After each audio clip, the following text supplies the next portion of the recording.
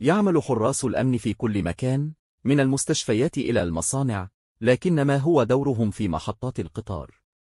في هذا الفيديو سنتعرف على مهام حارس أمن محطة القطار أحد الإجراءات الأمنية الأكثر شيوعا المطبقة في محطات القطار هو حراس الأمن الخاص والدور الرئيسي لهم هو خلق بيئة أكثر أمانا وتقليل التهديدات الأمنية مثل اللصوص غالبا ما تكون محطة القطار معرضة لخطر الجرائم مثل السرقة والتخريب والمتجاوزين. بسبب هذه التهديدات الأمنية تحتاج إلى تعزيز إجراءاتها الأمنية لضمان سلامتها.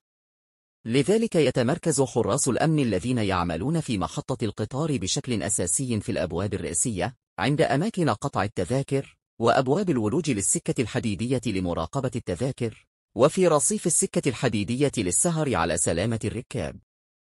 ما هي مهام حارس أمن خاص بمحطة القطار؟ الواجب الرئيسي لعناصر الأمن الخاص هو ضمان سلامة محطة القطار وجميع العمال والعملاء وسلامة القطارات نفسها. سيكون لحراس محطة القطار العديد من المهام والمسؤوليات من بينها ما يلي. واحد تسيير دوريات منتظمة حول المحطة. الواجب الأول الذي على عاتقه هو القيام بدوريات منتظمة حول محطة القطار وبعض المناطق المختلفة التي قد يقوم الحراس بدوريات فيها هي. داخل المحطة. حول مواقف السيارات في محطة القطار. خارج المحطة. وسيقوم حراس الأمن الخاص بهذه الدوريات لمراجعة سلامة المحطة وتستخدم الدوريات كوسيلة لهم للبحث عن أي سلوك إجرامي. اثنان حماية محطات القطار من كافة الجرائم. إحدى المهام الرئيسية التي يتكلف بها حراس الأمن الخاص في المحطة هي ضمان سلامة المحطة من السلوك الإجرامي. وقعت العديد من محطات القطارات في جميع أنحاء العالم ضحية للجرائم المحلية. أبلغت إحدى محطات القطارات في إنجلترا عن 532 جريمة في عام 2021 من أكثر الجرائم شيوعا في المحطة عمليات السرقة وجرائم العنف. نظرا لتزايد النشاط الإجرامي في محطات القطار فإن الواجب الرئيسي لحارس الأمن هو الحد من الجرائم. إحدى الطرق التي يمكن لحراس الأمن من خلالها تقليل الجرائم هي التواجد الأمني الجسدي للحارس والذي يستخدم بمثابة رادع بصري ضد اللصوص. إن الوجود الأمني القوي للحارس يخيف المجرمين لأنه يوضح لسارق مدى الحماية الأمنية للمكان. ثلاث الاستجابة لحالات الطوارئ. المهمة الأخرى التي يقوم بها حراس الأمن الخاص هي الاستجابة لجميع حالات الطوارئ مثل حوادث السرقة أو تبادل العنف. سوف يستجيب الحراس لحالات الطوارئ من خلال الاتصال بالشرطة على الفور.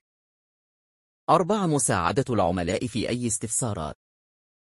على الرغم من أن حراس أمن محطة القطار يتوقع منهم في الغالب إكمال المهام المتعلقة بسلامة محطة القطار فقد يتوقع منهم أيضا مساعدة العملاء في أي استفسارات لديهم. سيستخدم حراس الأمن مهاراتهم في خدمة العملاء من أجل الإجابة عن أي أسئلة إرشادية لدى المسافرين. مساعدة الركاب في العثور على المقطورة في محطة القطار. مساعدة أي طفل مفقود في العثور على والديه. خمسة غرفة المراقبة بالكاميرات تحتوي محطات القطار على كاميرات المراقبة مثبتة في جميع أنحاء المحطة للمساعدة في مراقبة النشاط وردع الجريمة. يتم وضع الحراس الأمن الخاصة بالغرفة لمراقبة أي سلوكيات إجرامية في محطة القطار وإبلاغ أقرب عنصر أمني لعين المكان. 6. نقاط التفتيش الأمنية قد يكون لدى بعض محطات القطار نقاط تفتيش أمنية مثل أجهزة الكشف عن المعادن أو أجهزة الأشعة السينية لفحص الركاب وممتلكاتهم قبل دخولهم المحطة أو القطار. سبع خطط الاستجابة للطوارئ يجب أن يكون لدى محطات القطار خطط استجابة للطوارئ للتعامل مع حوادث مثل الحرائق وحالات الطوارئ الطبية وعمليات الإخلاء.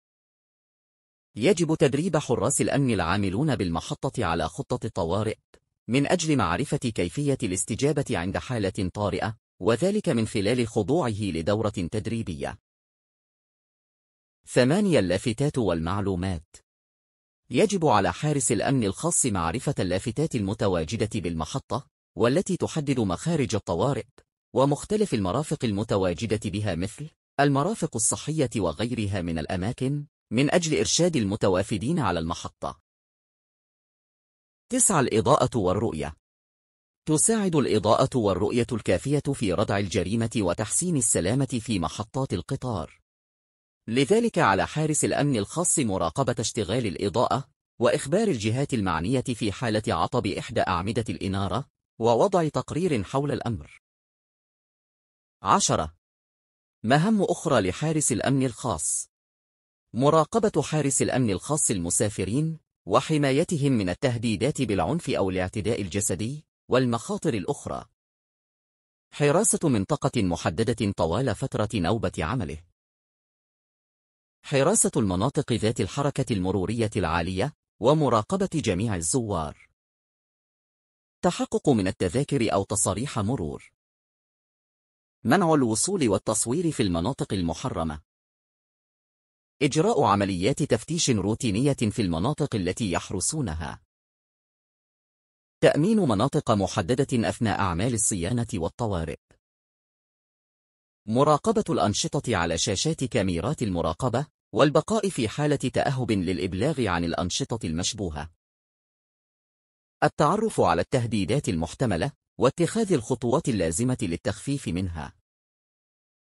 المشاركة في عمليات الإنقاذ مع رجال الإطفاء والشرطة أثناء الاستجابة لحالات الطوارئ. الكشف عن المشتبهين واحتجازهم وإبلاغ الشرطة عن الأحداث الإجرامية. استدعاء المسعفين في حالة الاعتداءات والإصابات وتقديم المشورة للناس حول احتياطات السلامة اللازمة.